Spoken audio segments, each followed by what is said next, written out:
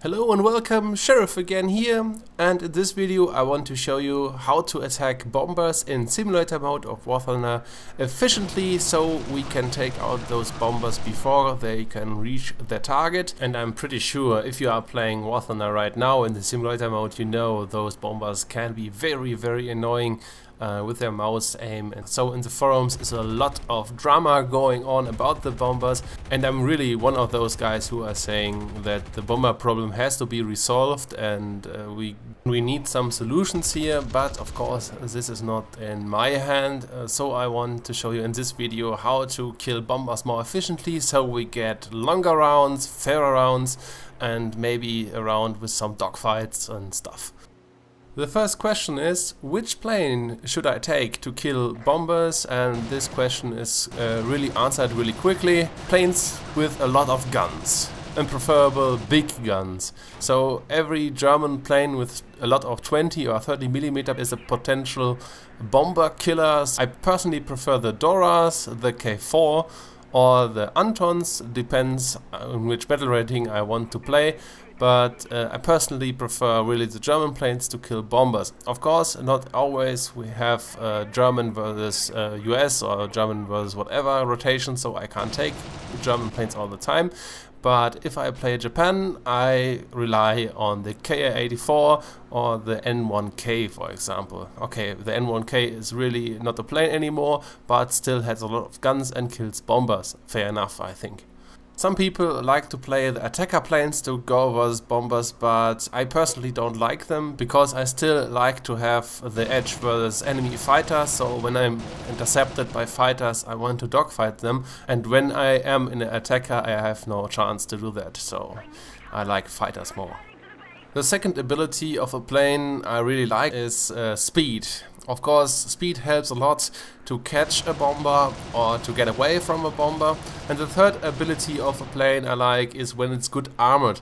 But of course, a single 50 cal in War Thunder is enough to lit up your fuel tank, so it's always dangerous to attack bombers. Uh, how, no matter how good the approach is, there's always the possibility to get hit by a single 50 cal and you are on fire. But somebody has to do the job and I really like burning bombers. The next question is, and often asked in the forums, how do I find enemy bombers? And this is again answered really quickly and simple.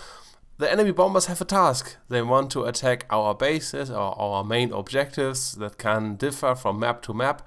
But for example, at Norway, there are those three bases in the south at Bergen and they of course want to attack them. Of course they have uh, air spawn as well, so they are going in a straight line to the bases and want to attack them.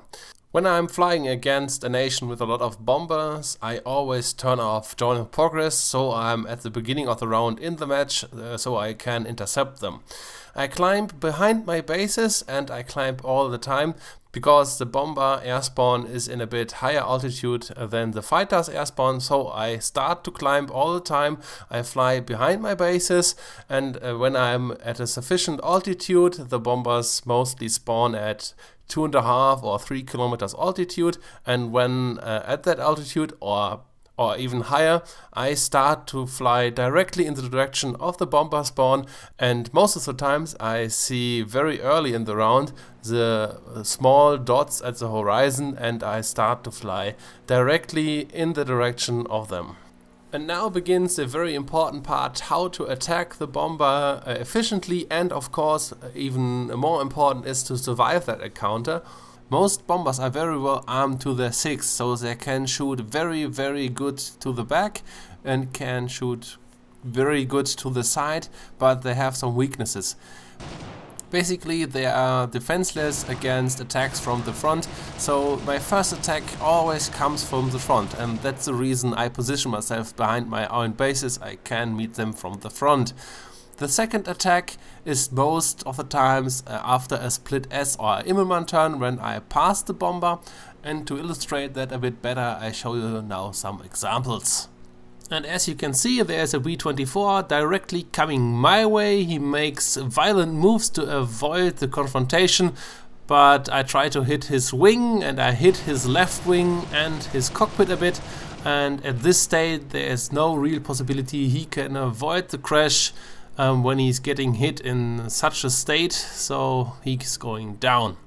And in the second example I want to show you, we are chasing a B-17 with uh, acrobatic smoke, so a real pro as a B-17 pilot and that helps us to attack the bomber in a very very steep angle. As a reminder, the angle in which you are attacking the bomber can't be steep enough. So when you have the chance and coming from that altitude down to a bomber, do it. As you can see, we lit up his left wing and he is burning. And when a bomber is burning, I don't attack a second time at least not for the moment. I watch him from a safe distance. Safe distance means more than one kilometer, and not even that is sometimes enough to prevent a hit, but from a kilometer the chance getting hit is relatively low.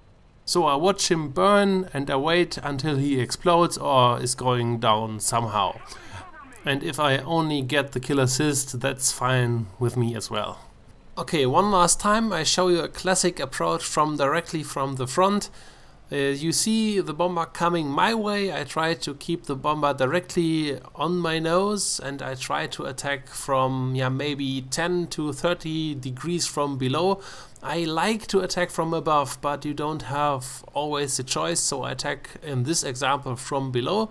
I fire my small caliber rounds relatively early to find the moment where I can shoot with my 30mm and as you can see when I'm really really close I start to shoot with my 30mm and tear his wing apart and the bomber goes down.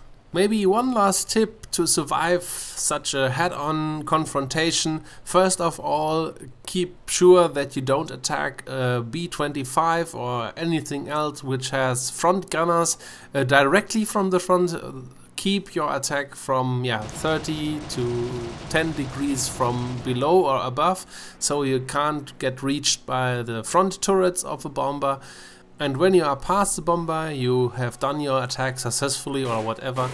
Uh, try to avoid the cone of fire of the rear turrets uh, relatively quickly. So split S or make an Immelmann turn relatively quick try to minimize the time you are on the six of the bomber, even when you are flying away from the bomber. That's really important.